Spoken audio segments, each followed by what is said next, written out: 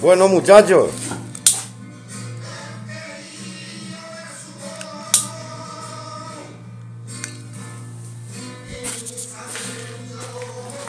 Pues aquí tenéis ya que le hemos pegado un avancillo. Como veis, esto va a ser el recinto de, digamos, del horno.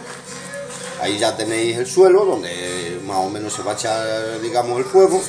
Ahí esto lo estoy dejando cortado para porque el tema de la puerta, a ver si hago un invento para el que lo quiera copiar, pues que no se tenga que gastar un pastón en las puertas, porque al final lo que más valen son las puertas. Te sacan 50 o 60 pavos o 70 por cada puerta.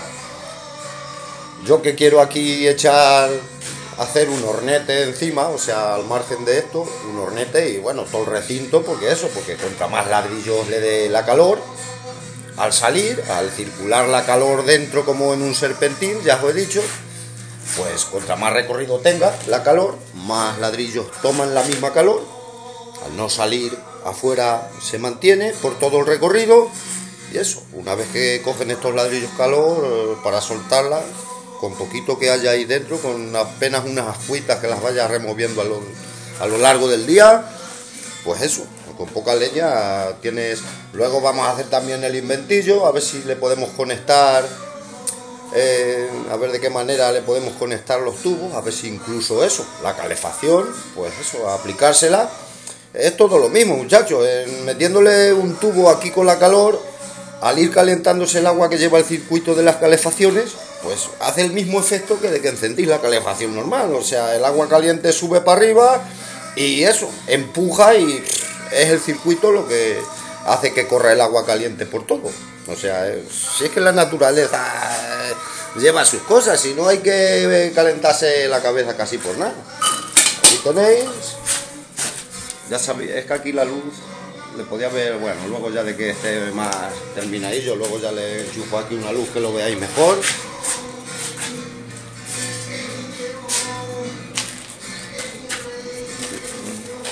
aquí no se ve nada.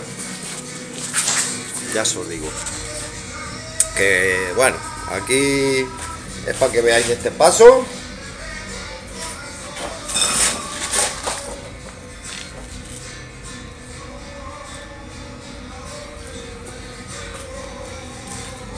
Y bueno, muchachos, ¿qué queréis que os diga?